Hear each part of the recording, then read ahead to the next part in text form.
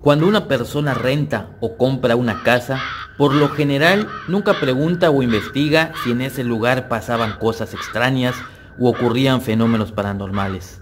Por ello, cuando esto empieza a ocurrir, uno suele sorprenderse. Hoy les presento el caso de Alejandro, una persona oriunda de Mérida, Yucatán, México, que vivió no en una, sino en tres casas embrujadas.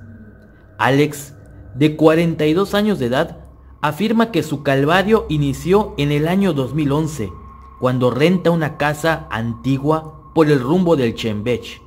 Desde el primer día en que pasó a vivir este sitio, ubicado cerca del centro histórico de Mérida, a diario escuchaba quejidos como de una persona de la tercera edad.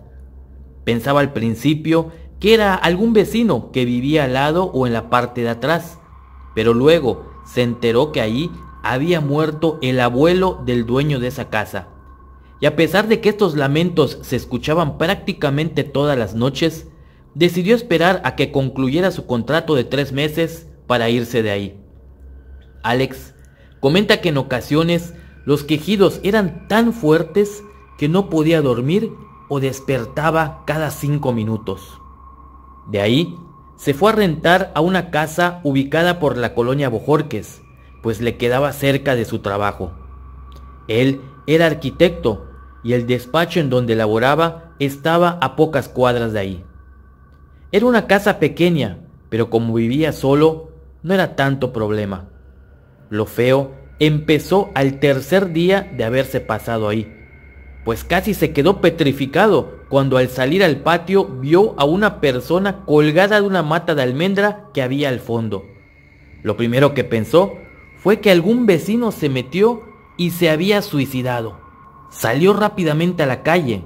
Ya estaba a punto de llamar a la policía, pero sintió que algo le dijo que no lo hiciera aún.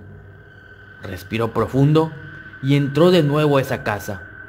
Lentamente se dirigió al patio con la adrenalina al máximo. Nunca había visto de cerca un cadáver y esa era la razón mayor de su miedo.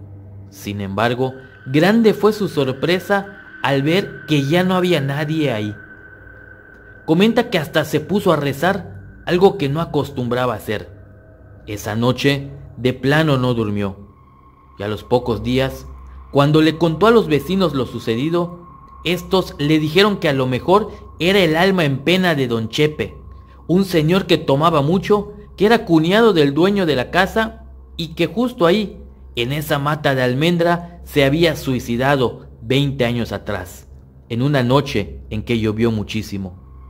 Alex me cuenta que le sorprendió mucho escuchar esto y le inquietó aún más, pues a las dos semanas de ello, en una noche de lluvia, de nuevo vio esa silueta, pero ya no colgada en la mata de almendra del fondo, sino más cerca, en la puerta de la cocina que da al patio.